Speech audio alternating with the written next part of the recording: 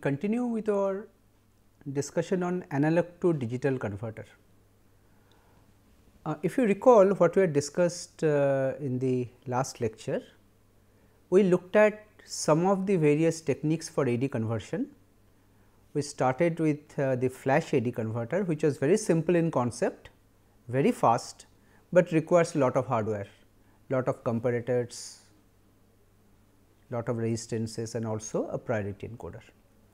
Then we looked at some of the counter based AD converter, one was based on an up counter, other was based on an up down counter. Now, in both of these methods, if the total number of bits is n, the number of steps can be 2 to the power n. So, in the worst case, the counter has to count from 0 up to 2 to the power n. So, the worst case conversion complexity was 2 to the power n clock cycles.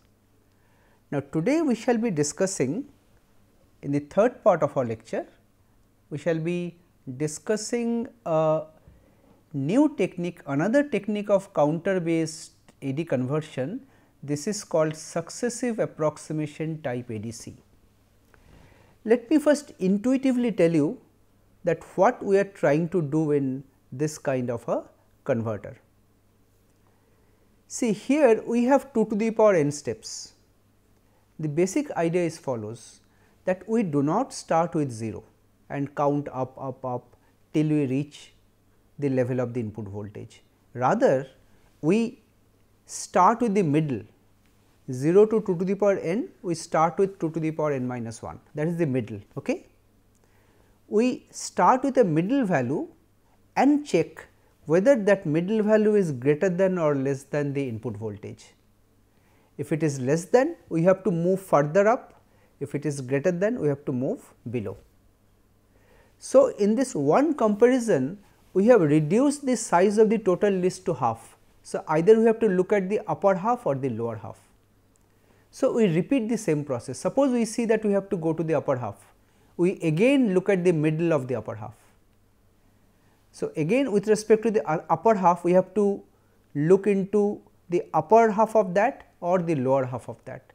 So, the size of the list is becoming half at every step. So, the good thing here is that instead of 2 to the power n comparisons or trials, we require only n trials. This is a very big advantage. So, let us look into this in detail. This method is called successive approximation type AD converter. Now, for those of you who are familiar with this method of binary search in software, so this method does something similar to that. So, if you have a sorted list of numbers and if you want to search for a number, you start with the middle. So, you take a decision either to look into the left side or the left or the right side again look into the middle of that half and so on.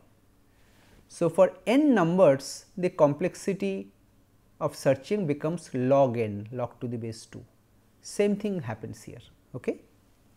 So, here so as an analogy uh, so you can assume that the number we are searching here is the input voltage. Okay. So, we start with the middle of the list as I have said and after comparing the middle of the list we have to look at either the upper half or the lower half and as I said if there are 2 to the power n steps the advantage we gain is that number of steps required is reduced to only n. So, what modifications are required to have this? See earlier we used a counter either an up counter or an up down counter. Here we use a modified version of a counter not exactly a counter this is something called a successive approximation register which simulates this binary search in hardware. Let us see how it works. Let us take an example of a 4 bit successive approximation register. We start by making the most significant bit 1 that means 1 0 0 0. So, in decimal what does 1 0 0 mean? It is 8 So, we have a range from 0 to 15. So, 8 represents approximately the middle point. Okay? So, we search the middle. Then we check the output of the comparator whether the input value which you want to convert is less than or greater than this value. If it is less than if you have to go down what we do we change this 1 to 0 and set the next bit to 1. But if we find that it is input value is less input value is greater we have to move up so, we leave this bit as 1, we set the next bit to 0. So, we set the next bit to 0 always, but either the current bit we reset to 0 or leave it is as it is. You see 0 1 0 0 means 4 which is the middle point of this half and 1 1 0 0 is 12 which is the middle point of the upper half. This process we go on repeating. Okay. So, if there are n number of bits in this word, the number of steps we required will, will uh, this will be n only. So, instead of 2 to the power n, we have a technique here where you require only n number of steps, right. Let us pictorially show it in terms of a decision diagram like as shown in the left. So, as I said for a 4 bit converter, I am taking the example of a 4 bit converter. We start with 1 0 0 0. Suppose the input voltage V in that we have applied that corresponds to the digital output let us say 1 0 0 1. So, 1 0 0 1 is my expected output. The way the searching will proceed is as follows. You first make a comparison here the output of the comparator there will be a comparator which will be comparing the current voltage from a DA converter with the input voltage. If we see that the V in is greater then we have to move upwards you will have to follow this link and the next data you have to compare is 1100 which is 12. This will be half of the upper half right. This is the lower half, this is the upper half. Here we check and find out that the input voltage is less because it is lower. So, you will be following this path. What you do?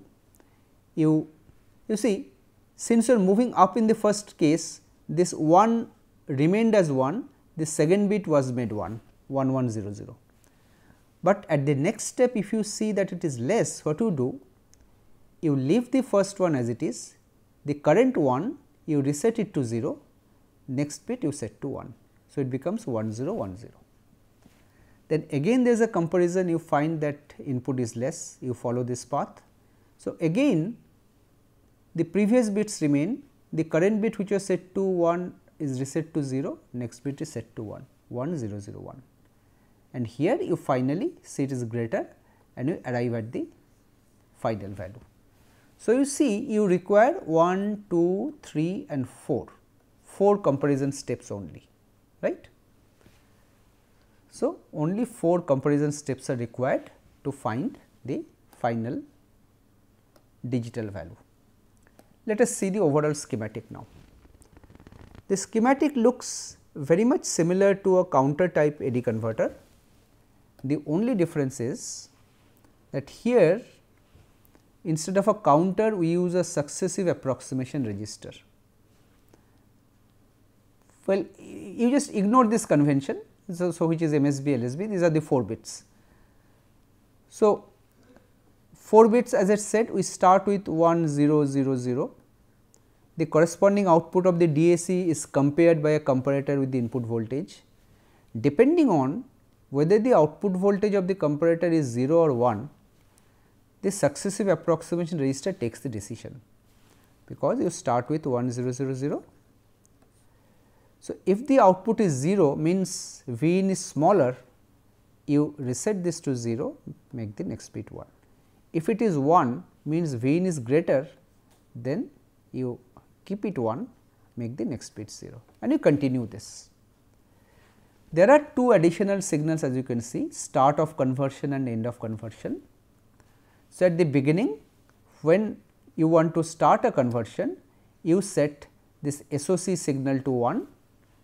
So, this SAR will be initialized to 1000 and the process will start and after the conversion is over, the end of conversion which is an output signal, this will be activated.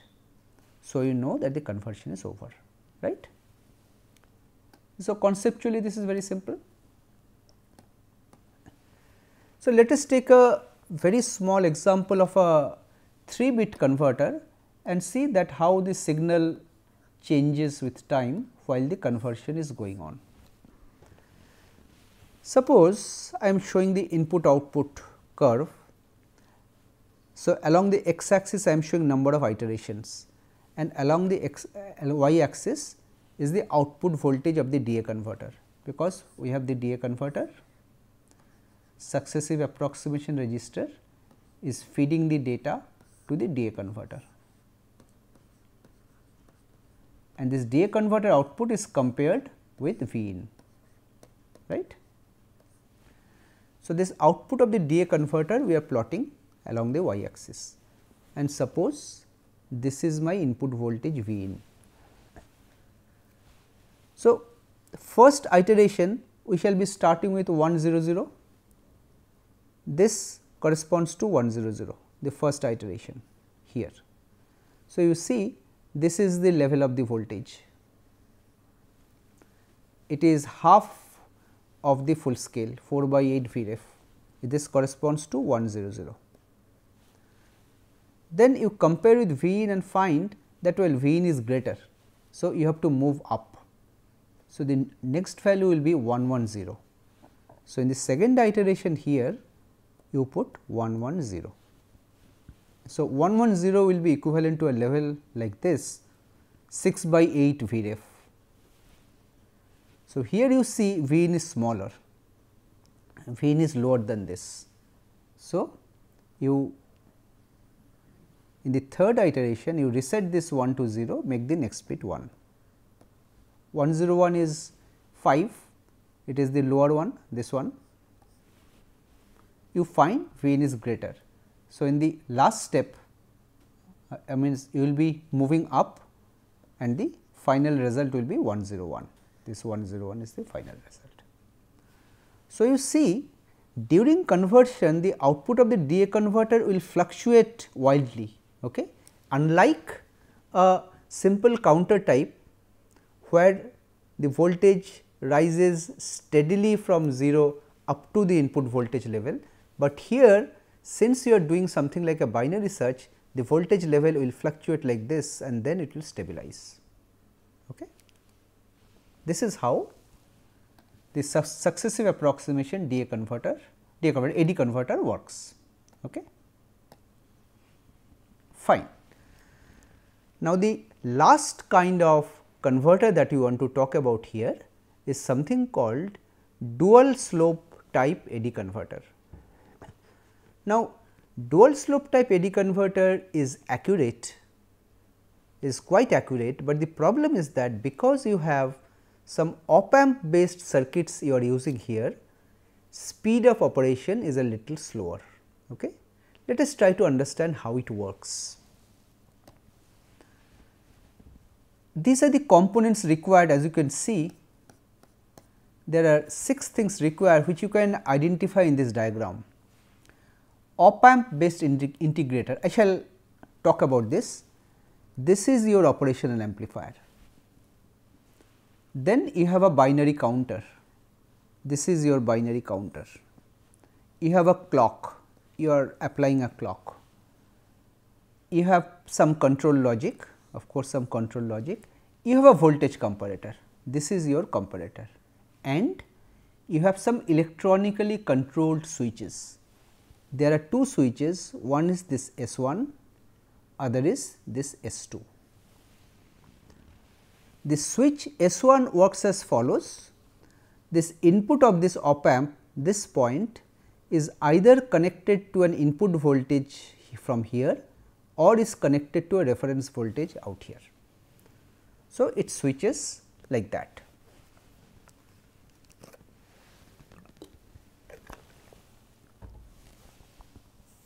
and the second switch S 2 this is just an on off switch either it is connected or not connected. Okay. Let us very briefly talk about how an op amp based integrator works without going into the mathematical details. Well, you have already seen how an op amp can be used as an amplifier non inverting and inverting. Now, in an integrator in this feedback instead of a resistance you use a capacitance. So, this looks very much similar to a non inverting non inverting amplifier if this is V in this is V out it like this. So, here what happens well, well, well again without going into the derivation if we look at the output voltage, suppose initially the capacitor is discharged, there is no charge because this point is at 0 volt, this because other point is grounded. So, V o will also be 0. So, if you just plot V 0, I am just plotting V 0, this is the 0 level. So, it starts with 0. Now, with time, with a time constant of R c, this, this capacitor will go on charging and because it is inverting it will go in the negative direction. Okay. This is how this integrator works right and just one point to note is that the slope of this curve or this that means that within a particular time t how much this voltage drops down to this will be proportional to the input voltage. This is something you should keep in whatever voltage you are connecting the rate of change of the output voltage will be proportional to that. So, we are basically exploiting this principle. Okay. So, let us move on we will be explaining how it works.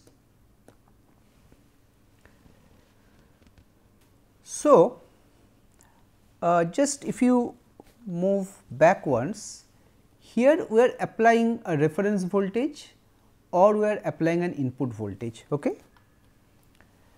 Now, the idea is as follows. So, we are showing the output voltage. Well, actually this is this is actually negative. So, we are showing the positive direction. This is actually negative V into we are plotting. So, this is the output of the integrator this is V int we are saying. Okay. This is the integrator, the output is V int. So, the operation proceeds like this. So, initially at time t equal to 0, we connect the input unknown voltage to be converted at the input. We connect V in to the input and we allow the integrator to operate for a fixed time duration t int.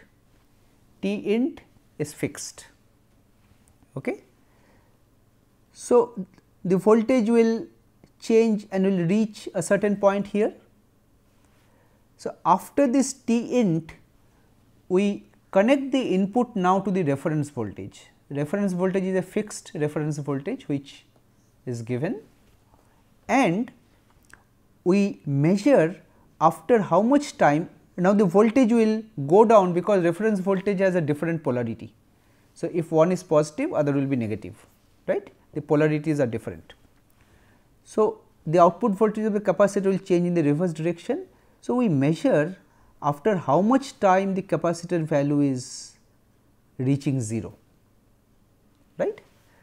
Now, the calculation is very simple first part of it the input voltage whatever you are applying V in divide by this time, this is this level of voltage proportional to this and in the second part reference voltage divide by this time. So, if you just solve this, this time T d int will be proportional to V in by V ref. Now, because V ref is constant this will be proportional to V in. So, if we can measure this time that will be our corresponding digital output. If we use a counter to count this time in some way that will be proportional to V in. Okay. This is how it works. Let us see with respect to the diagram again how the thing works. Step by step we proceed starting from time t equal to 0 and we see how the electronic switches S1 S2 there are two electronic switches how they are actually controlled right. Okay. So, initially before the conversion starts we are saying t less than 0. So, S1 is set to ground. So, S1 is set to ground, S2 is closed which means the, the capacitor is totally discharged and the output voltage V 0 out here V 0 is at 0 level here. At time t equal to 0 conversion starts what do we do?